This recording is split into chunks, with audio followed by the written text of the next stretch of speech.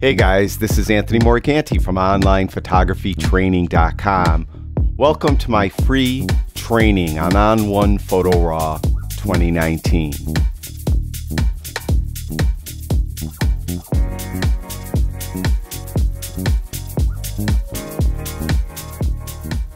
In this episode, I'm going to demonstrate a couple of the common tools that we most often use in On1 Photo Raw 2019. Now, it may feel like I'm really plodding along, but there really is a method to my madness. On1 Photo Raw 2019 is really a feature-rich application. There's a lot of different tools and a lot of different functionality. And if I throw everything at you all at once, I think it would confuse you and you might give up on the program. So we're starting out relatively slow. We're going to gain momentum as we go. I'm starting out with the most common functions, something that most of us would do on almost every image. And as we get further on throughout this video series, we'll start working or start um, demonstrating uh, more advanced features of the application that allow you to do more advanced techniques to your images. Now, right now, we're still starting, we're still with the basics, and I want to talk about a couple tools that we most often use. Now, in this image here, you can see I got these branches down here and often we have things in our image we'd like to remove, sensor spots, branches, a pimple, something like that. And there's a lot of different tools in On1 that will allow you to do this. If you look over at the left-hand tool well, you can see there's a little section called Fix, and there's a Band-Aid there. And if I click on that Band-Aid, you'll notice at the top now, there's actually three tools in this section. Right now, the Retouch Brush tool is showing. And this is a good tool to use uh, to remove pimples, uh, sensor spots, even tree branches. Now to the left of that, we have an eraser.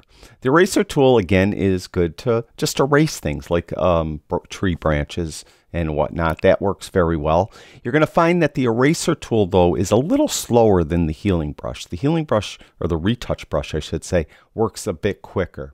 Now to the right of that, we have the clone stamp tool. So we could actually take pixels from one area, copy those, and place them in another area. And that comes in very handy when you really need to remove something in the image. Now, to tell you the truth, to remove these branches, any of these three tools will work. I'm going to use the healing brush because that's probably the tool you're going to use the most often to remove sensor spots, dust spots, rain spots, um, pimples, and things like that. And it will work very well on these branches. Now you notice when every any tool is active, tool attributes are to the right, and this will vary. The tool attributes will vary from tool to tool. You see the eraser tool just has size. This gear is um, an option for if you're using a tablet. So if you're using something like a Wacom tablet, you could adjust the size of the brush by press the pressure of the pen on the tablet. So that is what that gear is for. But we're not using that eraser. We're going to go to the healing brush and you can see now we have size here you could change the size with that slider. Also, if you just hover over the word size, you'll see that the cursor turns into that double arrow. That's called a scrubby slider. And what you would do there is you would click down with the left mouse button. You could go to the right to make the brush larger or left to make it smaller. You could do the same thing with feathering. You could uh, go over the word feather and that scrubby slider will appear and you could drag it with the left mouse button left or right and there's a size uh, attribute for feathering there as well. You also could affect the size of the brush with the bracket keys. The right bracket key makes that brush larger, the left bracket key smaller. The opacity, most often you want to remove like a sensor spot totally, uh, but sometimes you might just want, maybe someone has a prominent mole and you don't want to remove the mole, you just maybe want to fade it a little bit. So you might want to bring opacity down in some situations. And again, we have that deer, uh, that gear for a Wacom tablet. Now, I think what typically uh, a lot of people make a mistake is they get too big of a brush and they try to do too much at once. This, all three of these tools, specifically and particularly the brush tool, or this, um, as they call it, retouch brush, works best if you if you go in smaller chunks. So I'm going to get a brush so that center part of the circle is just a little bigger than let's say the branch. And I'm just going to paint over this branch like that. And you can see our little red overlay appears where I'm painting. And then when I let go of the left mouse button, it will take a second and you can see it got rid of it. So I could just go in, do all these little pieces. Now, like I mentioned, I think most people make the mistake. They'll try to do the whole swath of those branches all at once, and that often will not work as well. And we'll just do that, and then we'll come here and do this big one now. This is a larger si uh, size branch, but we'll do, see how it does. And that, and then this one in the corner. And there, it's gone. And, and really, when you look at it, you can't even tell that those were ever there. Now, if I was doing this and I'm not in the video, I would get rid of this side too, but I think you understand how this works. And similarly, uh, the eraser would work the same way. Uh, the eraser is a little slower, as I mentioned, and you would still affect the size the same ways. Uh, you could go right over size with the scrubby slider, click the drop down, or use the bracket keys um, then you would come in and just paint. And you could see that I think this one might be a little too close to this branch and it samples the pixels near it. And you can see how it's taking a little longer. And it might be sampling some, see it did, it sampled some of these branches here. So you see it didn't really remove it, it just kind of redrew it. So sometimes one of these tools will work much better than a different tool. If you use the clone stamp tool, what you need to do, and, and, again, we have size and feathering here and opacity. What you need to do here is you need to sample an area first. And to sample area, an area, hold the Alt or Option key in. Alt if you have a PC, Option if you have a Mac. And I'm going to sample like right there. Now it's going to take these pixels and it's going to uh, copy them wherever I want them. And I'm going to go like right here. And you can see how that got rid of the branch. And sometimes it will take a second. You can see that didn't do as good a job as the healing brush. I think the healing brush in this instance worked better. So that's how you use those three tools. And those tools are most often used, and the healing brush is most often used of those three. So I'm not going to bother getting rid of these right now. I want to go to uh, local adjustments. You may notice over here we have the develop, effects, portrait, local. So you could go to local adjustments, and what local adjustments are really two different tools, a brush and a gradient or a graduated filter. And you could access them by clicking right here on local, or you could go over here on the left-hand tool well and right where it says local, right above it, above it, you'll see a brush. Click there, and you'll see now automatically it turned the local on over here on the far right, and we have the two tools I mentioned, the brush and then to the right of that, we have the adjustable gradient. Now, again, when you're on, the tool is active, you'll have the tool attributes. Now, what do you want to do? Do you want the tool to paint in these adjustments that you set over here? Or do you want it to paint out the adjustments?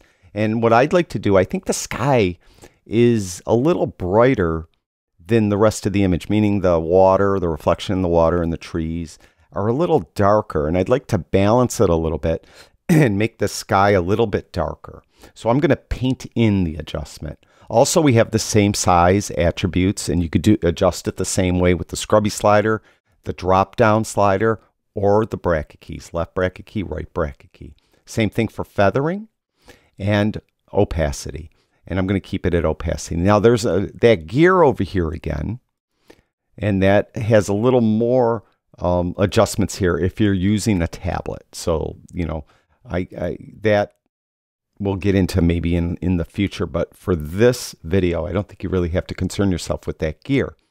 Now, to the left of that, there's something that's in ON1 called a perfect brush, and you could toggle it on and off when you click that brush. And you can see that it explains what the perfect brush is.